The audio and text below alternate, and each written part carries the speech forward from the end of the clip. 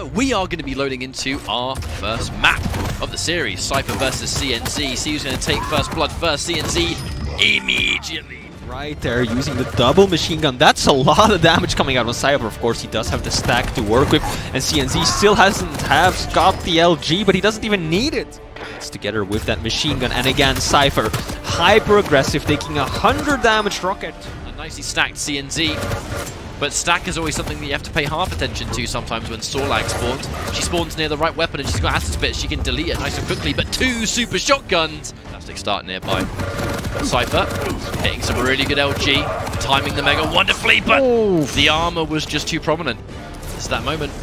Cypher may have been fraggable, but if I can deny the control, keep him weak and just frag him later, and at that point, Cypher. yeah, the second the Nyx decides that she wants to play really defensive, you're kind of uh, it's the, the To him, sounds like exactly something that Cypher would do. The LG is CNZ kind of just really overwhelmed right now, unable to get anything. Can he get his first frag? There we go, CNZ.